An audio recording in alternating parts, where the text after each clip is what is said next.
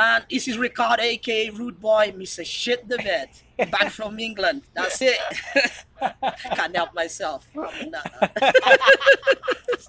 Always from England. Uh, respect you guys, man. I feel really welcome down here. I might move to US soon, man. Oh, for real? Man, let's up. hope, man. Let's hope. Catch up with these dudes. You know, you know, you look after me. Yeah, definitely. Mighty Mouse. 212 class in the building. the dwarf class. The dwarf class. the short like us. We did have some short people. Respect. All right. He's messing me up. Waiting for my phone to video. These two, man. Mr. Shit the Bed. Want to take to your I'm right. at the mouse right now.